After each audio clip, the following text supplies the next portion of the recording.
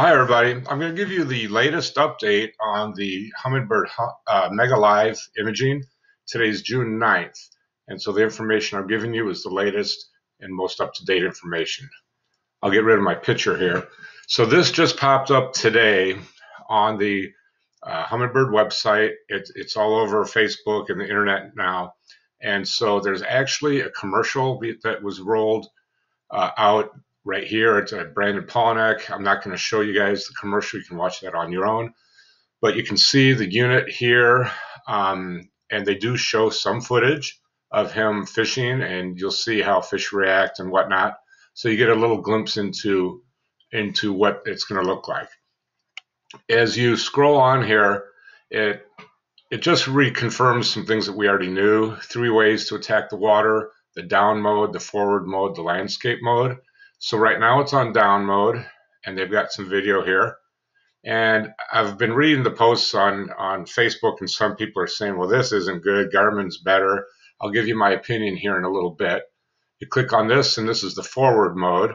And they have an animation here and uh, they show you how it would be mounted or how it would be angled. So I like that. This is more typical of what you see people using the Panoptix Live Scope in this mode. And this would be typically when you're casting out forward ahead of the boat, uh, you're going to have it angled this way. So you're seeing that was a fish that was just caught there, it looks like. And then you can go to the landscape mode and you can see that they're showing this is how it would be situated on the trolling motor. This is your view. And then this is showing the fish and you can see the shadows of the fish. So if you're familiar with uh, 360 or side imaging, you'll understand what those shadows mean and whatnot. So you've got those three things to look at. Um, if I keep scrolling down, it says Mega Live Transducer Accessory. And it says upgrading to Mega Live imaging is simple, connect, blah, blah, blah. But then it says um, attach the three position Mega Live transducer to your trolling motor and you're ready to fish. It sounds like the trolling motor mount does not come with it. And so you're going to have to buy that separately. Um, you can click on this to explore. And there it goes. It's going to open up a new window and it, it shows you this mount over here. You've got a bunch of different views to look at things. So this is the mount on the trolling motor itself. You can see that's the down mode. That's the forward mode and that's the uh, landscape mode. And then this is just showing, it looks like there's a button here and a button here. And in this next photo, you can see the person's kind of pinching those. So I'll go back to that one. So basically with one hand, you're going to pinch that and that'll release and then you would swivel this. So it looks like it's pretty easy to adjust. You don't have any, really need any tools, it looks like. Again, this is all uh, just my speculation. I don't have inside knowledge from Humminbird at all. Uh, what, one thing that is apparent to me in this view, you can see the 360 here and this, and they're, they're not going to get in the way of each other. And it's amazing how close you can put this to the head of the trolling motor. It looks like it's intended to be that way. So that's kind of interesting. Um, those of you that have had the Panoptix Live Scope, getting it mounted on the troll motor is a little bit of a hassle. You need a you need a a mount that comes not from Garmin at all. It's got it from a third party. Uh, let's see. They've got information here that you can read through. Again, I'm not going to read through all this for you guys. You guys can read this yourselves. But I've never seen this so succinct. So compatible Humminbird control heads and they have this written in a really nice, easy to understand way. It's Helix 8 through 15, generation 3 and 4 models with mega imaging. So I do know some people that have bought a Gen 3 or a Gen 4 model thinking that they could use it for their live, but they didn't buy the mega one. So it has to have mega imaging, all Solix models and all Apex models. So this sums it up in a very nice, easy way as to what uh, what's going to be compatible with it. Um, let's see, that's just support. You can click on specs, but there's really nothing there. There's not much. This is the specs for the the mount, I believe, and this this is the UPC number, but I don't even see that that mount is not available. So speaking of availability, um, I got this email today from Russell Marine.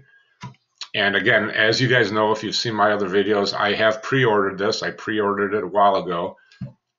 And it is, like I said, June 9th right now.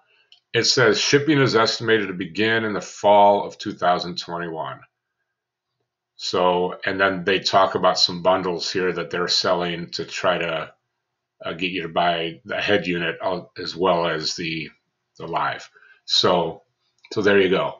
Um, so my impressions, you know, I'm I'm a big fan of Humminbird. I know there's some Humminbird haters out there, and probably not going to change their opinion on anything. Um, but I did own a Garmin Panoptix Live Scope. And if you look at, see if I can find the right image right here.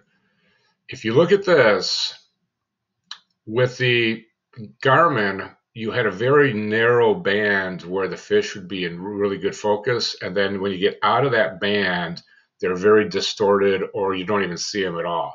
So it was very narrow. And this says, um, let's see if I can find where it is edge to edge clarity right here. So they're calling it edge to edge clarity. And what that means is there's no gaps in the sonar coverage. So you can have as clear of an image out here on the outer portions of the cone as you will in the middle. And to me, that in itself is a big advancement over the Garmin. Now, obviously, I haven't used one of these yet. I haven't seen it. But just looking at this video right here, and if you watch the little commercial with Brandon Palaniuk, uh, are you going to see the details of the fish? Are you going to see their fins? No. But really, with a Garmin, you're not going to either. Uh, but I think you're going to see a much wider, broader area, which means you don't have to be moving it as much. When when I had the Garmin, and I, am a bass fisherman, so I'm I'm hunting fish constantly. I'm not just anchored in one spot generally. Um, the, the problem with the Garmin, I had it on my trolling motor because I wanted it to, to move so I could swing it right and left and scan the area. But when I would get it perfect where I could see fish like this, if those fish moved out of that narrow angle, they became very hard to see. And so I was constantly having to search for them even when I was casting, and that was kind of a pain. So this already looks like an advancement. Um, so we'll see. Again, it's all speculation. So that's the information that I have. Um, again, it's looking like the guys have them for the Bassmasters Classic. So we're going to see people like Brandon Palaniuk and, and Chris Zaldain and some others that are that are Humminbird uh, pros. You're going to see them using them. They'll probably be talking about them, especially if they're doing well at the tournament. And obviously, if they do well at the tournament using one of these units, then the orders for these is just they're just going to go through the roof.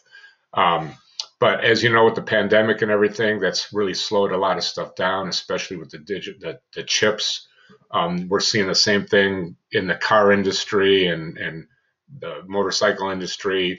Um, it's it's slowing down everything. Just that the supply chain has slowed down because of COVID. But now that uh, things are opening back up, we're gonna should start seeing some of these plants ramp up. So that's the latest on what we have from Mega Live Imaging. I am excited. I was hoping to get it here this summer, but if I have to wait till fall, so be it. Um, so thanks for watching and keep in tune with all my updates. Again, I'm going to do the full install and then my first time on the water, uh, how to use it, and I'll, then I'll go into a deep dive on how to do the settings and everything. So that'll be coming up uh, as I once I get my unit.